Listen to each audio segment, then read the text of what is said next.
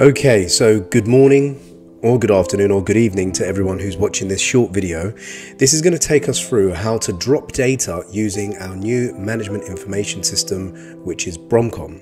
So we're going to start as we do when we get onto Bromcom to take our registers, and we will log in with our Google accounts. Once we've done that, we will come to the home page and what you need to do here is you need to go to overview. So right now it's zeroing in on the lessons that you have. You want to go to overview.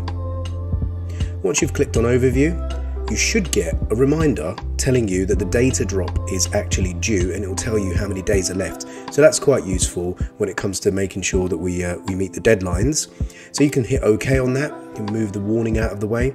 And then I'm going to draw your attention to the side over here where we've got the assessment sheets for our groups now, thus far, we've got year 12 and year 10 both available because it's the formative assessment data drop for Key Stage 4 and Key Stage 5. We don't need to do year 11, obviously, and we don't need to do year 13 as well because they're currently sitting their exams, so we don't have any meaningful data on them just yet. What I'm going to ask you to do first is to just go over here and click on More. So once you've gone to More, you will get your data drop sheets. This is a very useful tip here. If you click on include completed percentage column, over here on the right hand side, it tells you how much of that data drop sheet has been completed. So you can actually monitor your own completion rates. So it might be that you've got up to 50% um, and you're still waiting to mark a few more and you'll do the 50% later on. So before the deadline, you can look over here and see, have I completed my entire mark sheet for the assessments that are due? To take the actual data drop sheet, it's very, very easy. All you need to do is click on the sheet and it will pop up in a separate screen.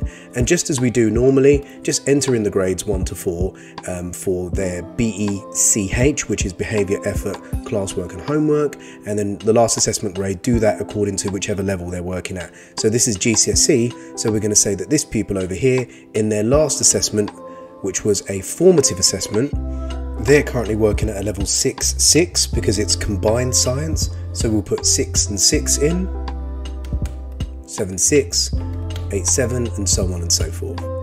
Once we've done that, we turn our attention to the performance indicator column.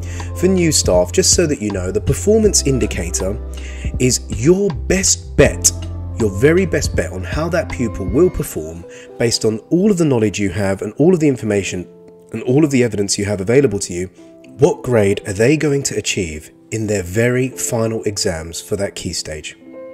Okay, so what score are they going to get? And this child, we can presume that they're going to get grade 7 7. So we'll go with that. And then we've got the behavior, effort, classwork, homework. And then we're just going to put in a 2, which is good, uh, a 2 for effort, which is decent. Classwork, we're going to go 2. And homework, we're going to go 3 because they missed a piece.